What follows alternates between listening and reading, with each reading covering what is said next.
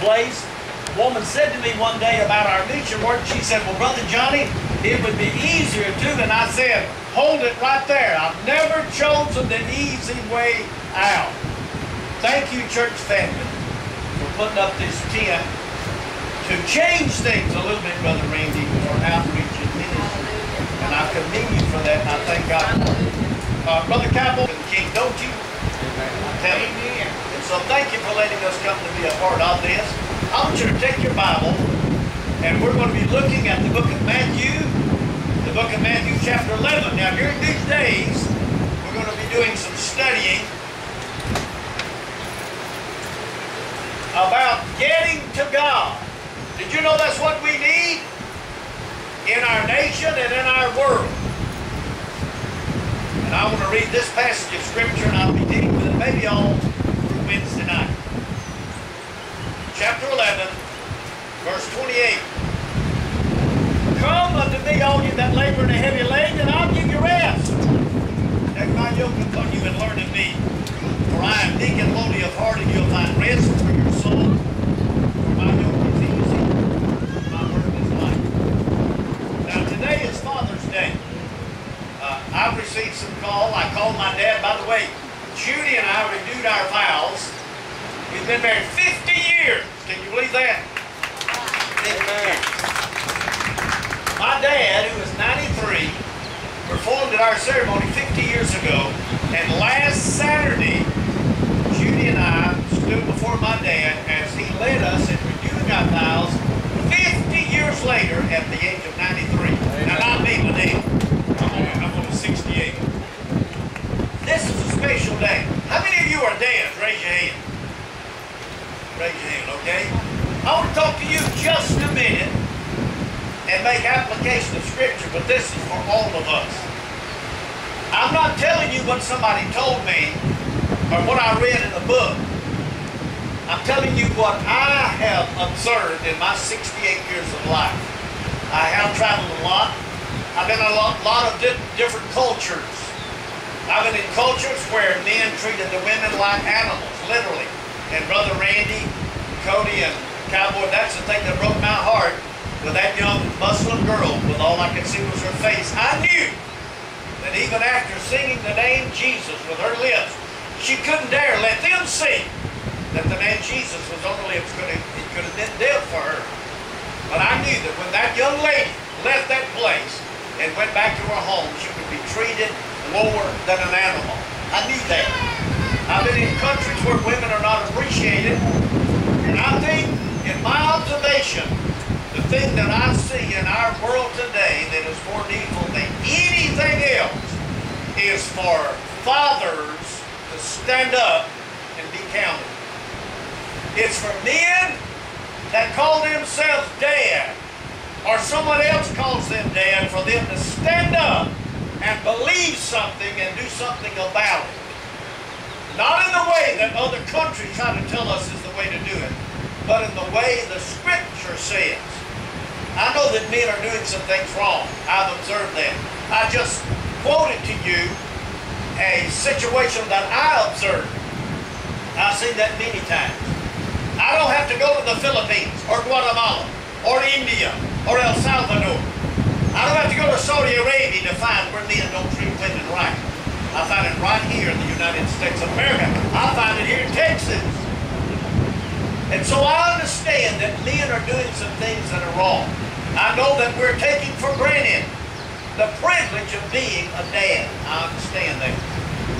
But in the midst of our failure, I realize that today I'm preaching to some men who are sitting here that though you have made mistakes, you'll be the first one to stand up here and say, I've messed up. I've done things that are wrong. I haven't been the kind of daddy I should be. I haven't been the kind of husband that I should be. But I know that there are men that are sitting here today that could say, but Brother Johnny, I've done my best. I messed up. I didn't do at times what I should have.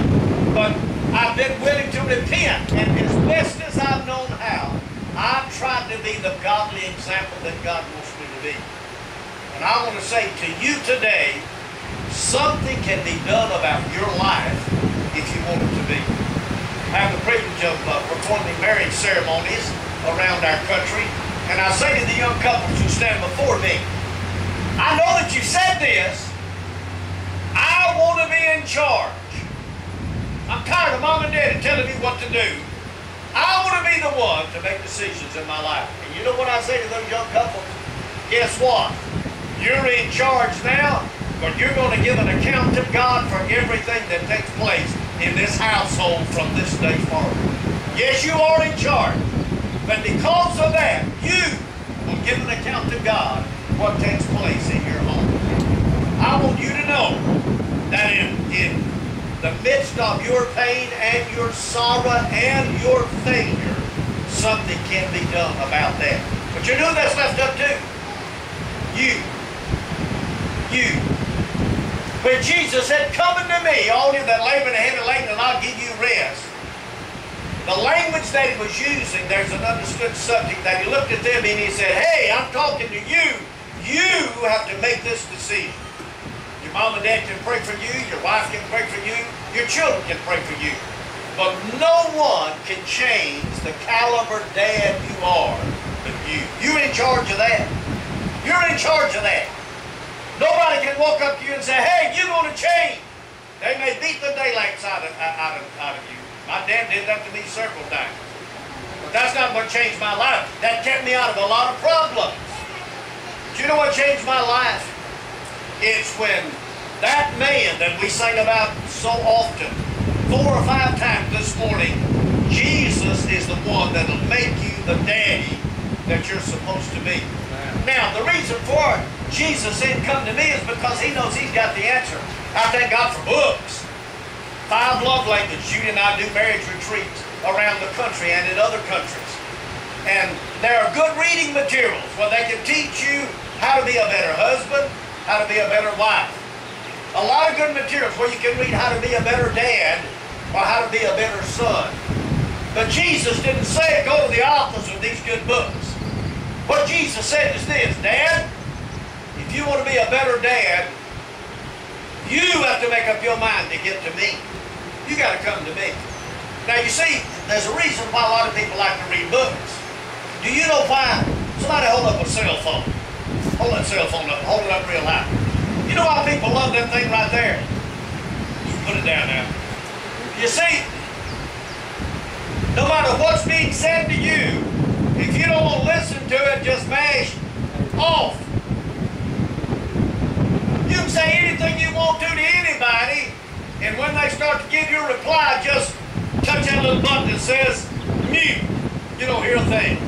You're in charge of it. Do you know why you don't like going to Jesus find out information about being a daddy? Because you can't handle it that way. He's not going to hush when you tell him to. When you start asking the Lord, what am I supposed to do? What are my responsibilities? Who am I to my children? You'll get an answer from him. And the reason why it's difficult for us to communicate with God is because it can't be one-sided. Can't be. Job thought he would try that a while. If you read the book of Job, you'll find that Job was telling God a bunch of stuff. I told a man the other day, Brother Randy, he was sitting in my house, and he was about uh, a yard and a half distance from me, and he made a statement. And I leaned forward and I said to that man, look me in the eye.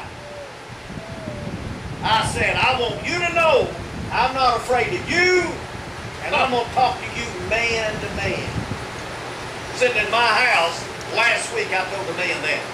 I said to him, I'm going to tell you the same thing God said to Job. You want to talk to me man to man? He said, put your britches on, boy.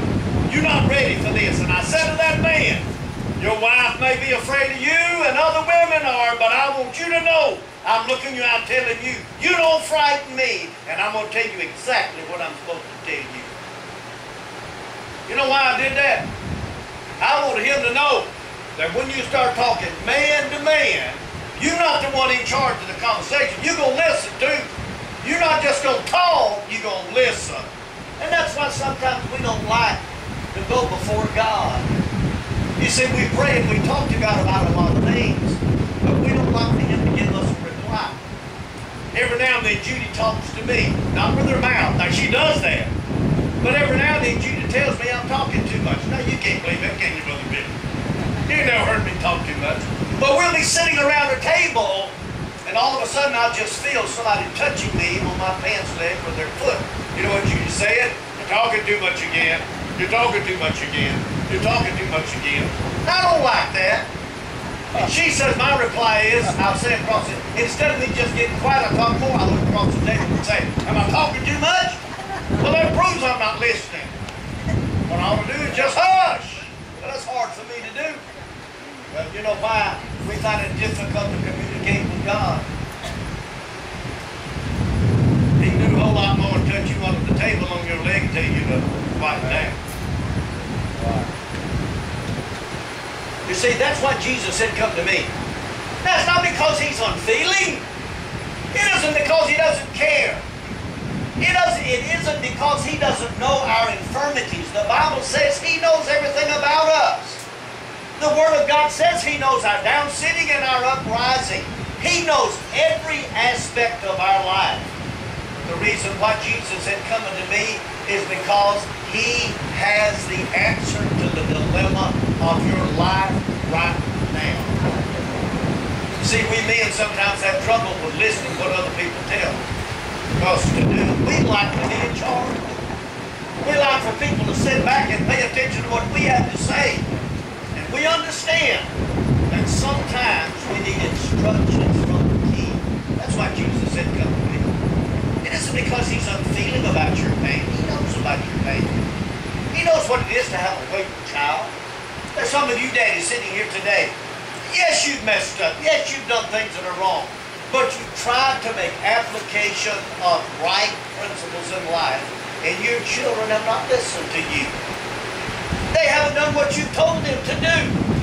And they have suffered the consequences of not listening and not heeding to advice. God knows about that. He understands the struggle that you're going in right now, where you're doubting yourself, where you're saying, well, should I have said that to them? Did I say the right thing? Did I, did I say it like I should have said it? He understands that. And the reason Jesus said, come to me, all because he knew the struggle that all of us have. You ever seen such a such a display of trouble in our land today? Uh, somebody called us at home. We've been gone since Friday morning. And they left a message on our phone and it said, what's going on in Cincinnati? That's where we're from. Y'all are in the national news. Did y'all hear that? Anybody hear that? I can't find anybody that did one of our police officers was interviewed, and it's in national news. I don't know what happened. But I want to tell you something. In your life today, God knows what you're dealing with. He knows exactly what you're struggling with. The failures that you believe have caused your children to turn out like they have, He's not through with them. You may give up on them. He hasn't. He didn't give up on you. I said to somebody the other day, I was making reference to Johnny. If God can use this man, God can use anybody. If you doubt the capacity of holy God, then when you get home, you look in the mirror and you just remember, if God can change that individual, God can change anybody. So don't you give up on your children. Mother and dad, listen to me. This is not just for dads. It's for moms and dads. Those things that you have taught those children, that they did listen to, that you believe with all of your heart, it didn't do any good. I want to tell you something. When the Bible says, if you'll train up a child in the way that he should go, when he's old, he'll not depart from it. God didn't get somebody else to tell him that truth. He created that truth, and it's real. He said, if you'll do it my ways, I want to tell you what's going to happen. When they're old, they'll not depart from it. You can have confidence in it. And so the reason Jesus said, come to me, is because he knew this. Listen, he's got all the answers. Now, you can't get all, all of them at one time. Judy was doing some counseling with a couple recently, and they decided, well, we want our lives to be what they ought to be. He wants to love her like he should. She wants to love him like she should. And Judy said to them, you feel real good now. You feel real excited. You're starting all over. But you cannot correct something overnight that has taken 20 years to get like this. Don't forget that. Don't forget that. And so you can't go to God and all of a sudden just say, God, I'm going to give you my life and everything be eradicated and all of your problems be gone. It's not that way. Can you get saved just like that? Absolutely. Can you turn your life over to Jesus just like that? Absolutely. Can your direction change from heaven into to headed in an everlasting life? Did it change just like that? Absolutely. Because you have encountered some things in your life, you may have to bow down over and over and over again to see God bring correction to some of the things in your life. But it's worth it. The reason Jesus said, come to me, is because he knows nobody else has all the answers. No one does. He knows that it doesn't matter what your source is, it's not enough. He knows that you can go to anybody that you please, or any administration, and being a father, or a, a wife, or a dad, or a mom, or whomever the case may be, he knows that they can pour into you the volumes of everything they know, and it's still not enough. Still not enough. And so the reason Jesus said, come to me, is because, first of all, he's got all the answers. And guess what? He doesn't have a problem giving you the answer. Just like he said to Job that day, when Job said, Well, Lord, you don't you don't understand.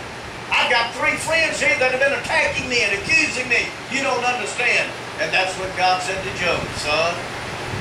Yes, I do. I understand quite well. I'm in charge of this. I know what they said to you, and I not only do I know what they said to you and what you said to them, I know what I'm going to say to them. I got the last say so. That's the beauty of coming to Jesus. You see, we find ourselves in error. We find, find ourselves with flaws all over. We make mistake after mistake after mistake. That's why Jesus said, come to me. First of all, because he's got all the answers. And he has an, an unlimited capacity of giving you the answer. The second reason is, not only does he tell you to come to him because he's got all the answers, he tells you to come to him because he cares. He cares. What a, what a privilege to have friends that care. I thank God that God has raised up people in our life that love us and they care. I thank God that there are people who pray for us all the time. I am blessed by that. I thank God that there are people who minister to us in numerous ways. What a blessing. But we've got needs that some people don't know about, so they can't meet the need. But He does. When Jesus said, come to me, He knew. He knew about everything that I'm struggling with now. Judy and I had a marriage retreat down on the Gulf Coast in uh, Gulfport, Mississippi, some years ago. And I asked the question, like we did when we had your marriage retreat, I said to them, why is it that I always have to have the floor, that I'm louder than you, my story is bigger than yours, and I have to enlarge in everything that you say, I've got to come up with something bigger. And there was a man there in that marriage retreat, and he started to speak. But then he realized if he gave the appropriate answer that he knew that he knew, it might hurt my feelings. And so he said, and then he stopped. And I looked at him and I said, Tony, I know that you know the answer. Because the reason you stopped, you thought you was going to hurt my feelings. But you tell this group what you were going to say. Why do I always have to have the floor? Why do I have to speak louder than the next one? Why does my story have to be stronger or bigger or more lasting or more effective? And he said, low self-esteem. And I said, you nailed it on the head. I said, brother, you, you nailed it. That's me. Low self-esteem. People say, well, I never would have guessed that with you, Brother Johnny. But God knows that. God knows that. God knows how limited I feel about myself. Even though I've preached 14,000 times in my life. That's a lot of preaching, isn't it?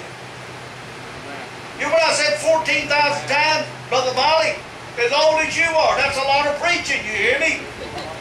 You think after 14,000 times, 31 countries all over the world that I know and have an effective way to preach today. But I said to a young man the other day when he called and talked to me for an hour that he felt like God was calling him to preach. I said to him, Austin, though I have preached 14,000 times, and to preach one time, though my credentials say I ought to be able to preach, I don't have anything to say unless when I stand, God impregnates my heart and my mind and my mouth with biblical truth. I have nothing to say. Do I have low self-esteem? Absolutely. But God knows that. God knows that. It's not a big deal. It isn't a big deal at all. That's why I can stand to preach to 4,000 pastors in the Philippines, and it doesn't bother me one bit. That's why I can stand and preach in front of anybody that doesn't bother me, because God knows my limitation. You know why Jesus said, come to me? First of all, because he knew he had the answer but secondly because he knows our infirmity. He knows where we hurt. He knows about the physical struggles, the emotional struggles. He knows about everything we face. Dad, I know the opinion you have about yourself. And I know the opinion you have about yourself is partly formulated because of the opinion your wife has about you. And I know the opinion you have about yourself is partly formulated because of the opinion your wife and your children have about you. And I know the opinion you have about yourself is partly the responsibility of what your wife has said and your children have said and her mom and dad. That's a biggie right there, you hear me? I know that. Let me tell you something. God does too. God does too. Everything that the enemy would say to you or everything that people that love you might say to you. A compilation of every bit of it. It's of no consequence when you go to Jesus. Because he knows your infirmity. He knows your infirmity. Now listen to this part. Coming to me. How many? Oh, Red Light said all. There have been around these people that want you to think like they got made. Have you ever been around these super spiritual people that they act like, hey, if you can get as close to God as I am? Mm-hmm. Yeah. You know what I want to do to them? Not too Christian. I got to be honest, not too Christian. I get around people all the time. They want to convince me how close to God they are and how many steps it is to spiritual maturity. Pooey. I said. Y'all know what means in Texas? My Jesus said, come to me. Because he recognizes that that individual who always has the answers is in just as big a uh, struggle as you are. That's why he said all. Come to me all, you that labor and heavy labor. You see, nobody's got a corner on God. Nobody's got God locked up and God's going to do things like they think he should do them. That's everybody that's alive. Jesus said, every one of you need to come to me. I thank God for that. I'm glad that the Christian walk is not an exclusive walk where certain people have a certain corner on God and nobody else can walk with him. Oh, Jesus said, come to me all you that labor and heavy labor. And then you know what he said he would do as a result of it? He said, I'll give you money. That's what the TV preacher. That's what they say. Oh, y'all come follow us. I heard a preacher say one day, he was wanting $66 million to buy another jet. Mm. He stepped off the plane and I heard him say, the blessings have arrived. I want to say, get back on the plane, go where you came from. Anybody's got that kind of opinion ain't got nothing to tell me about God. You know what Jesus said? Come in the all you that labor and the heavy labor, and I'll give you money. That's what the TV personalities promise you. That's what these people that propagate a gospel that if you'll give, God's obligated to give you a new Cadillac and to give you this and give you all that stuff. That's not biblical. Will God bless you if you give? Of course. But you don't give to God so God can give you a bunch of stuff. You give to Him because you love Him and He said do it. But you know what He said? Come to me, all you that labor and heavy laden, and I will give you authority. I'll tell you if your wife won't listen to you, let me tell you how to get her to mind you. From now on, if you'll come to me, you can say jump, and she'll say how high. From now on, if you'll come to me, I can tell you how to raise these children. So come to me, all you that labor and heavy laden, and I will give you rest. Come on, give me one of the chairs right there, please. Thank you, sir. Now, I know I'm 68. I know I don't act like a sheriff, but I am. Sometimes I, sometimes I get tired. Sometimes I preach, and I love people. I love being around people. I mean, I do. I can be around people all the time. I never get tired of being around people. But every now and then I get at the end of my way. You know what I got to do? Here. When I get home, know what I do? Watch you watch this. This, boy, I'll tell you, this is this spiritual. I'm te- teaching y'all something big time here. Glenn, will you laughing at me if I tell you the truth? Watch this. When I get home, you know what I want to do?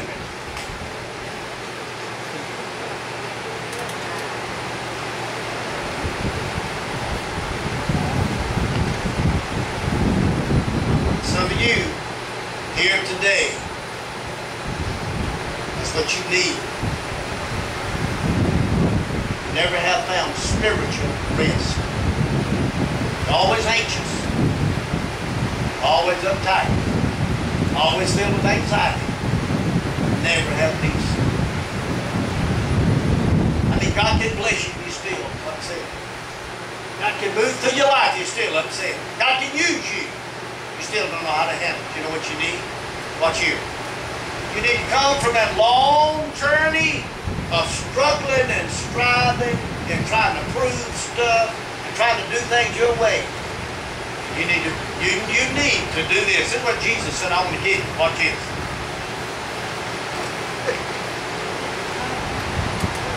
Said, you'll come to me, I'll give you rest. Get by that. Think all the money you want to. Can't buy this. Can't work for this. Some of the most miserable people I've ever met in my life work for God more hours than most people do, and there's no peace and no rest. They're discontented every day, all day long. Never found rest. It's available to anybody. If you ever had that, let me, let me tell you something. Y'all didn't know this, but 15 years ago, I found out I had heart failure. My heart's been pumping at 18% for 15 years.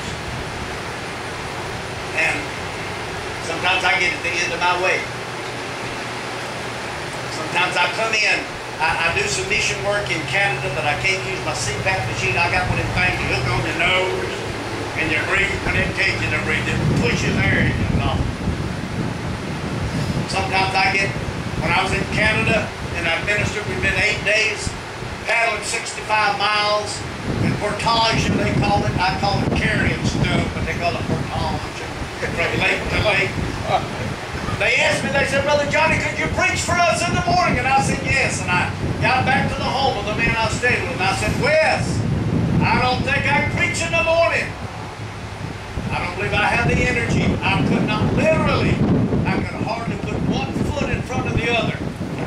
And I went to bed that night. Now you listen.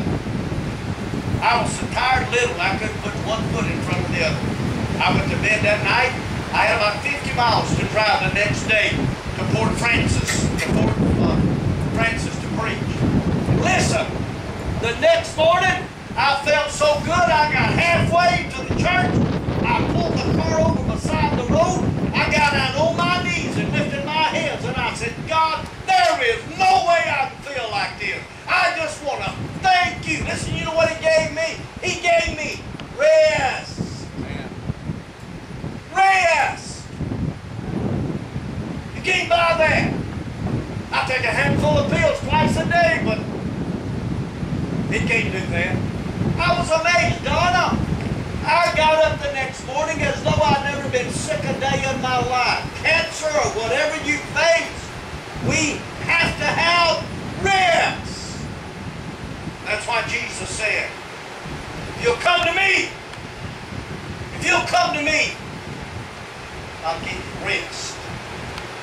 Anybody here that needs that?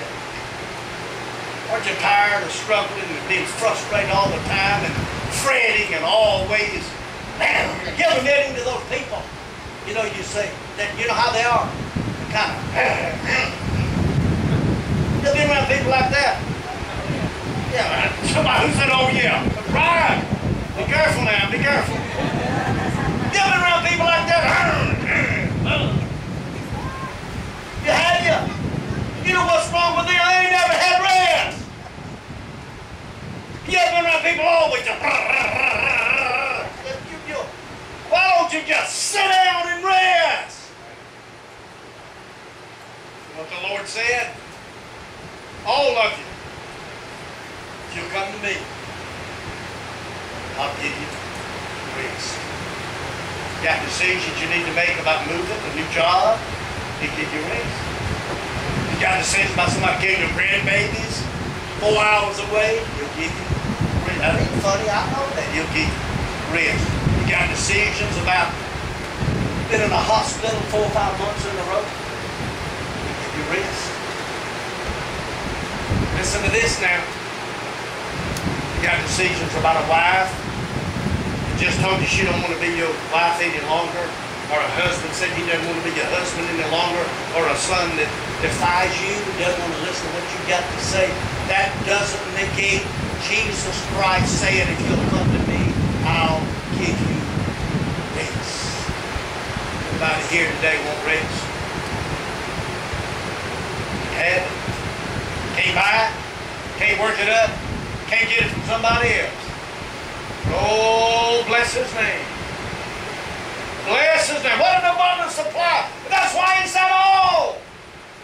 You say, well, Brother Johnny, what if 500 people ask for it? Give him 500 more, or 50,000, or 7.5 billion. He got enough for all of us. Amen. He said, if you come to me, I'll give you rest.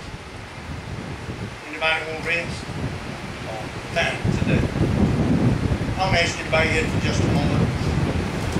Brother Randy and some of the others are going to be here. Brother Ryan, y'all come and play real softly uh, some kind of music. I to ask you to stand for just a moment, if you will. And if y'all will, Brother Cowboy, let's put about four or five chairs up here in front. And here's what I want you to do for the invitation today.